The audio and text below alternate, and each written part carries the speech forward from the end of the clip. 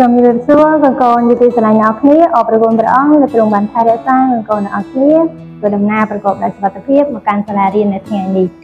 ហើយនៅថ្ងៃនេះយើងនឹងបន្តស្ដាប់ព្រះបន្ទូលតាមរយៈសៀវភៅព្រះគម្ពីរសម្រាប់កុមារជំនួយដល់ការអធិដ្ឋាននិងអានព្រះបន្ទូលនៅថ្ងៃនេះដូច្នេះសូមកូនអ្នកគ្នានឹងយកចិត្តទុកដាក់ស្ដាប់នៅមេរៀនសំខាន់នៅថ្ងៃនេះ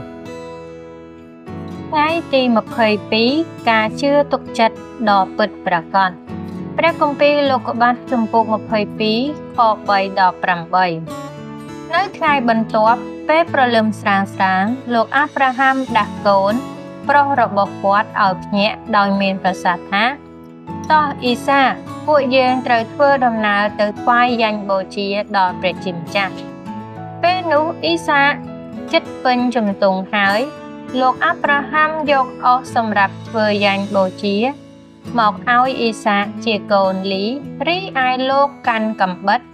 អ៊ីសានិងឪពុកតែងតែថ្វាយដង្វាយអរព្រះគុណទៅកាន់ព្រះជាម្ចាស់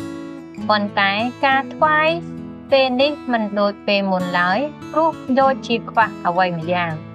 អ៊ីសាសួរទៅកាន់ឪពុកថាលោកឪពុកលោកអាប់រ៉ាហាំឆ្លើយថា មានការអ្វីកូនអ៊ីសាសួរថាខ្ញុំមានអស់ ប៉ុន្តែកូនជៀមដែលយើងត្រូវថ្វាយយ៉ាញ់បូជានៅឯណាលោកអាប់រ៉ាហាំឆ្លើយថាព្រះជាម្ចាស់នឹងផ្គត់ផ្គង់តាមរយៈព្រះបន្ទូលនៅថ្ងៃនេះតើព្រះជាម្ចាស់មានលក្ខណៈយ៉ាងដូចម្តេច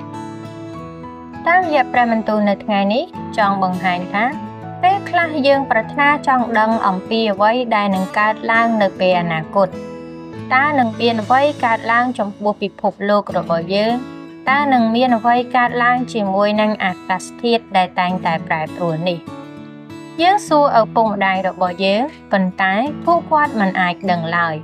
ចម្លើយពិតប្រាកដមានតែមួយគត់នោះគឺព្រះជាម្ចាស់មានគម្រោងការល្អហើយព្រះអង្គនឹងប្រទាននៅអ្វីដែលចាំបាច់បំផុតដើម្បីឲ្យគម្រោងការនោះបានសម្រេច។ ដូច្នេះសូមបងប្អូនអ្នកគ្នាបានសម្រុំចិត្តហើយបិទភ្នែកអធិដ្ឋានទៅកាន់ព្រះជាម្ចាស់ទាំងអស់គ្នាអោព្រះវរបិតាជាព្រះដ៏មានគ្រប់ទាំងអំណាចព្រះជាស្ដាអើយកូនសូមអរព្រះគុណព្រះអង្គសម្រាប់ការផ្គត់ផ្គង់និងការថែរក្សាកូនជារៀងរាល់ថ្ងៃបិទកូនប្រកាសក្នុងចិត្តថាទ្រង់ជាព្រះដ៏ជ្រាបនៅគ្រប់កិច្ចការទាំងអស់ទ្រង់ជាម្ចាស់នៃពេលវេលា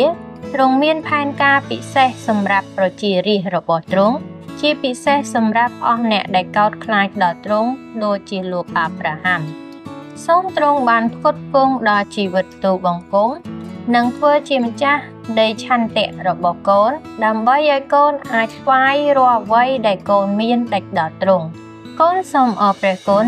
និងសូមអធិដ្ឋានទូលថ្វាយទៅកាន់ទ្រង់ក្នុងព្រះនាមព្រះអម្ចាស់ព្រះយេស៊ូវគ្រីស្ទ អាមែនសំណួរត្រូវได้ពិចារណា នៅពេលអ៊ីសាសួរថាខ្ញុំមានអស់ប៉ុន្តែកូនជៀមដែលយើងត្រូវថ្វាយយ៉ាញ់បូជានៅឯណាតើលោកអាប់រ៉ាហាំឆ្លើយតបយ៉ាងដូចម្ដេចចាតាមរយៈការស្ដាប់ព្រះបន្ទូលអំបញ្ញមិញនេះតើកូនបានទទួលនៅព្រះបន្ទូលអ្វីអ្នកគ្រូសង្ឃឹមថាកូននឹងអនុវត្តតាមព្រះបន្ទូលនៅថ្ងៃនេះ អរគុណព្រះអង្គសូមព្រះយេស៊ូវបានប្រទានពរដល់កូនអ្នកគ្នា